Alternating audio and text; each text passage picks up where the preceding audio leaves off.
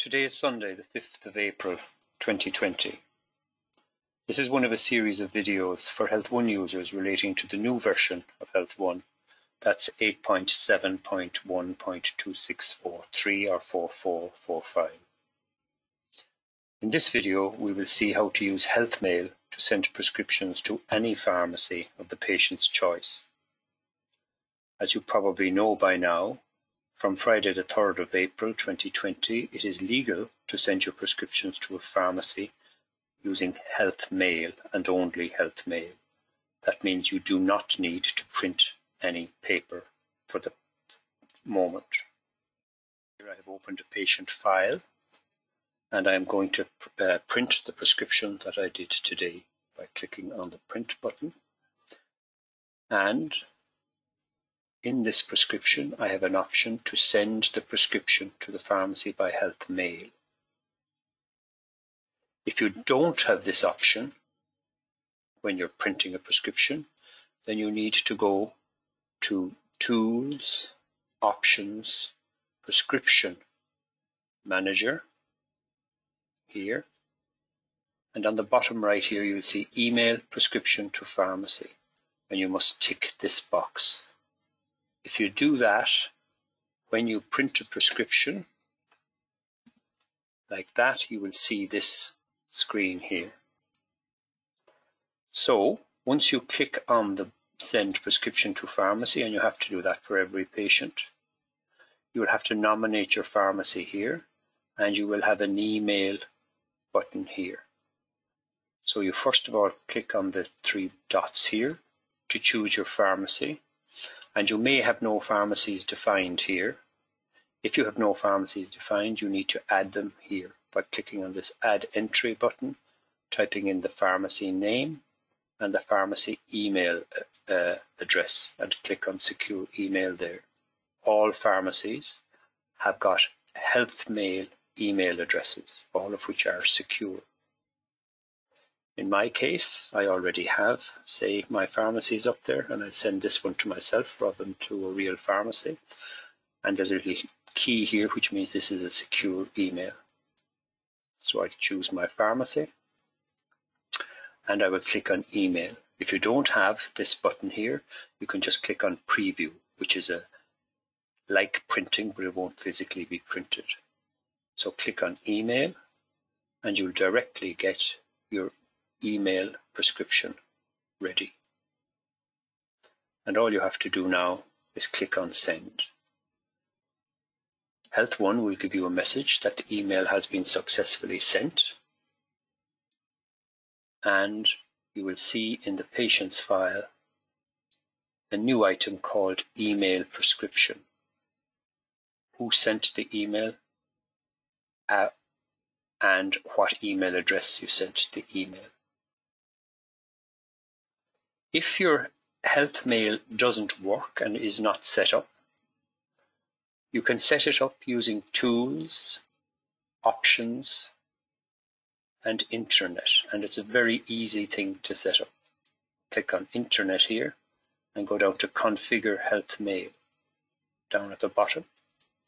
Once you do that, you simply put in your HealthMail email address and your HealthMail password, which you get from the HealthMail people, either your personal one or your practice one. As you see here, the practice email will be used if there is no private email defined for the user up here. So if you define both, then the pharmacy will see the sender as being this email address, this person. If this isn't filled in, then the pharmacy will see this person as the person sending the email. Just click OK and everything else is done by Health One. It's a very simple thing to set up. Now let's get back to the prescription and start over. So I've got my prescription ready. I'm going to print the prescription. I'm going to send it to the pharmacy. As you can see here, Health One has remembered the pharmacy if I want to change it, if the uh, patient tells me to the different pharmacy, I can simply choose it again, another pharmacy by doing this. So I'm going to show you the email again. And what is written in this email is now the required information. uh, to send a prescription by email, by health mail. The date, the patient's name, and the patient's address, patient's GMS number, the drugs, all the drugs in it, and the GP's details, GP's GMS number, uh, IMC number, and the GP address. Uh, the, GM, the GP GMS number isn't recorded in this particular one. The reason for that is that I'm logged in as admin admin, which doesn't who doesn't have a GMS number or an IMC number. Now logged in as myself as the doctor. Uh, you note when I click on the send here, and only when I click on it, the email button comes up here, and I can uh, send the email. And now you see my GP GMS number and IMC number is coming up here, uh, and it's been taken from the user DB. I'm now going to prescribe a controlled drug for this patient. And as you can see in the control drug, I have the handwritten checkbox ticked. You can do this manually yourself, or you can have Health One automatically tick all of your controlled drugs, uh, but that's not the subject of this particular section of the video. So once the handwritten is ticked, Health One knows it's a hand, it's a control drug, and it'll give you a little handwritten sign there. And now when I print this drug and email it, you will see that this is included in the email and that the OxyContin is written in uh, words and figures. And that is acceptable now. You do not have to physically write the control drug there, but you do have to put in the uh, words and figures. And you will get them included in the template normally if you click GMS controlled drugs. And that really should be made when you're physically printing it, your default for GMS and GMS DVCs at least. GMS controlled drug. I can, of course, edit this template here. That's the email template, which is here, by clicking on the three dots over here, Edit Template. And this is just a normal Health One template, and you can put your own things in here. The ones that I, we are distributing is acceptable to the government at the moment for uh, sending email prescriptions but you could edit it as you would edit any normal template should you so wish and save that. Now I'm going to show one way uh, to manage your prescriptions when you're sending them by health mail. So in our practice, we've created a new room called Prescriptions O'Driscoll, and these are down here. The rooms are down here at the end, and we display the this particular room, which is a prescription room only, secretary gets the phone call, uh, puts an appointment in here for a prescription. So every appointment in here is for a prescription. Put as many as you like. And then she opens the file and does the prescription. Or the doctor does the prescription. This is done on the 4th of the 4th for this patient. And then she closes it and marks it as present. So when it's present, we know that the prescription is ready for printing. This one here is, is not present yet, so the secretary hasn't actually done the prescription. So the doctor then, in his own time, will open up the appointment for the prescription. He will see the prescription and he can validate the prescription by opening it up, checking it, checking the patient file to see if this is what uh, needs to be done and then send it by health mail again to the pharmacy. Press email. Must choose my pharmacy. Let's say the pharmacy again is Rory O'Driscoll email it. Don't print it. And you have another prescription here again with a controlled drug written correctly for the purpose of sending it and send it. The doctor has then finished, the email has been successfully sent. He can, if he wants to then, click on this thing here which says reviewed. This was last reviewed on the 27th of the 11th, 2017. So its prescriptions were now reviewed today. So if I exit the appointment, the uh, prescription, see that there's a record in the in the transaction of the email having been sent and the fact that the medication has been reviewed, and we can audit all of this stuff later on. I'm now finished with this patient. I can validate it and I'll mark it as done here. So these are all done. So when all the prescriptions are done, they'll all be green. I'm going to spend the next part of this video showing you how to set up these rooms and it's quite easy. So if you click on the configuration icon here, configure the appointments, you will see here that you can configure the appointment type, the users and rooms. In my case, we just did a room. I added a room and you can call it prescriptions. For example, you have a new room.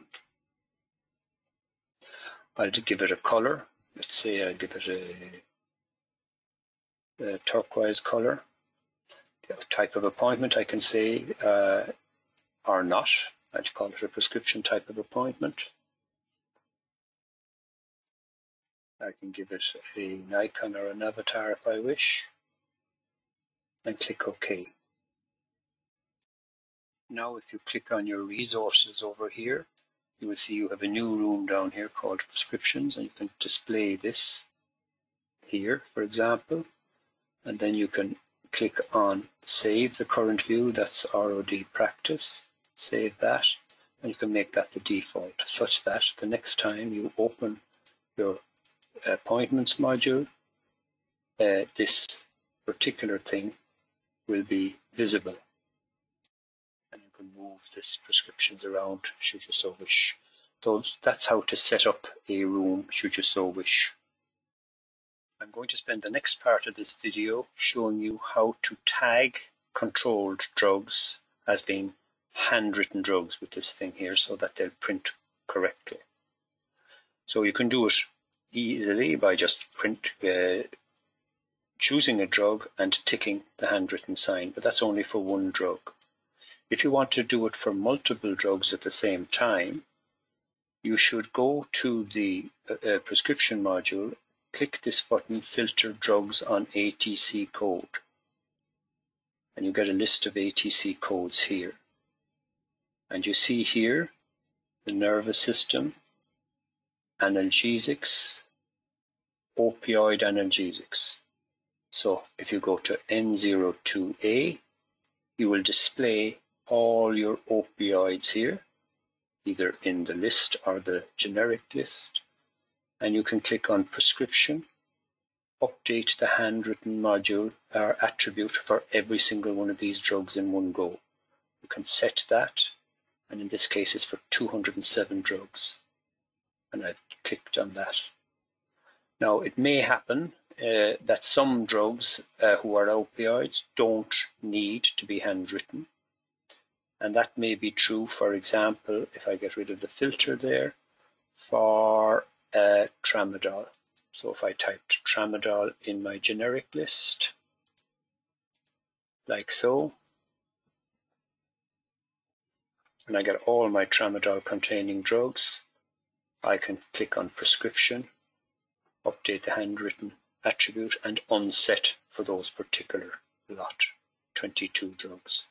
So now anytime that I prescribe a controlled drug, I will get, it will be automatically ticked for handwritten. Let's say I want to prescribe Palexia 50 milligrams. It'll automatically be ticked here so everyone will know. Or 75 milligrams, they'll all be tagged as being handwritten if you see down on the bottom there.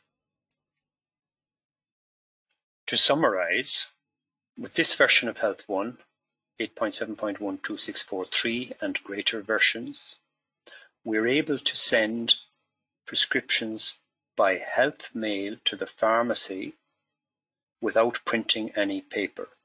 Now the functionality, most of the functionality of this has been available in, for several years. We have improved it, however, somewhat by including the email button here. Even if you didn't have the email button, you could just uh, click on preview, which doesn't physically print the prescription, and escape out of the preview, and you'll be you'll get an email as well. So you don't physically have to print it anyway. But the easiest thing to do is simply to click on the email button. The email button doesn't become available until you tick send prescription to pharmacy. So that's new.